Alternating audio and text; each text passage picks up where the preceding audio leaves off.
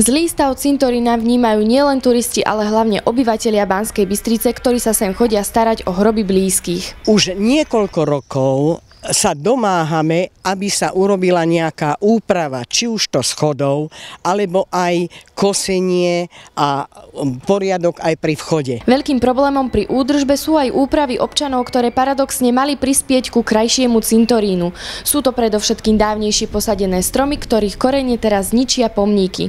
Taktiež aj bez povolenia postavené nádoby na kvety pri hroboch, ktoré zase znemožňujú ľahší prístup pre kozbu. No a v neposlednom rade sú to aj financie. Cintorín spravujú záhradnícke a rekreačné služby mesta Banská Bystrica, ktoré aj vyberajú poplatky za hrobové miesta. Žiaľ, musím konštatovať, že tie prostriedky sú, sú nižšie ako skutočné náklady. Za jedno hrobové miesto je zhruba 100 eur. My v danom roku z toho 100 eur môžeme použiť len jednu desatinu. 10 eur.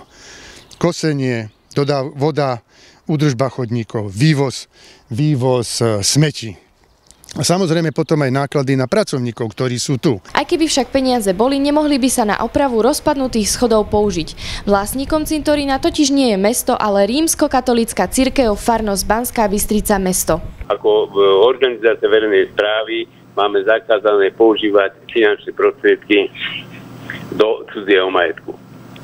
Môžeme investovať len do majetku mesta. Správca mesto teda hádže vinu na vlastníka rímskokatolickú cirkev. Jej stanovisko sa nám však nepodarilo získať. A tak je teda otázne, kedy sa ľudia dočkajú opravy schodov ku hrobom a tí, čo v nich odpočívajú dôstojného prostredia.